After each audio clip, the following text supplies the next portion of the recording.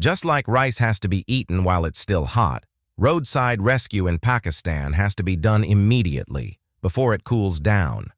As soon as the truck is involved in the accident, the first thing they do is unload all the cargo to reduce the weight, while using simple tools to rebalance the front of the vehicle.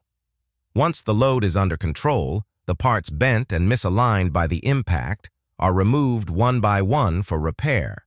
The undamaged leaf spring pack is reinstalled right away to temporarily hold the structure, while the damaged side is taken apart and prepared for fixing. They then use hydraulic jacks to lift the axle, adjusting it little by little until it returns to the correct position. One side is secured by installing bolts and tightening them firmly, locking the leaf spring pack to the axle. As for the bent springs, the leaves are disassembled, heated directly, and hammered back into shape. Once the form is restored, they are reassembled and mounted back in place.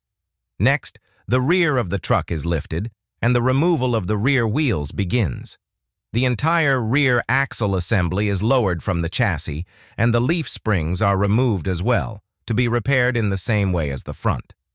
By nightfall, both leaf spring packs are installed on each side, the rear axle is put back into position and securely fastened with bolts. All of this is only a temporary repair, just enough to let the truck roll back to a proper workshop for a more complete overhaul.